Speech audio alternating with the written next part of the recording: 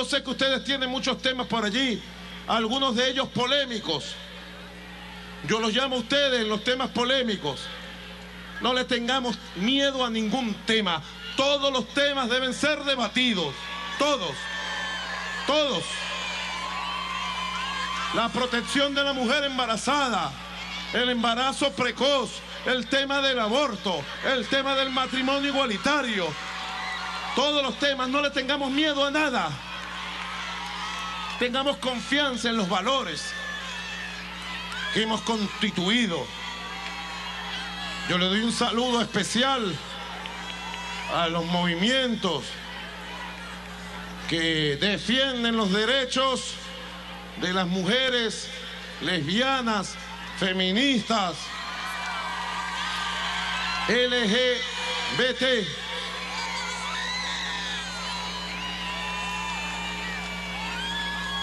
De la sexo diversidad, la saludo con amor, con respeto.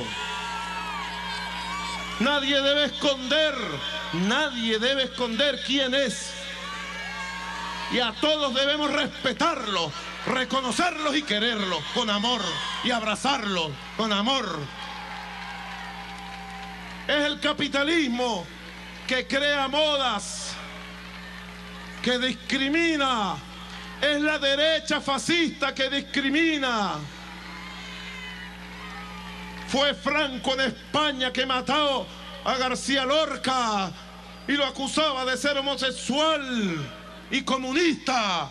Y lo mató más por homosexual que por comunista. Fue Franco en España. ¿O miento?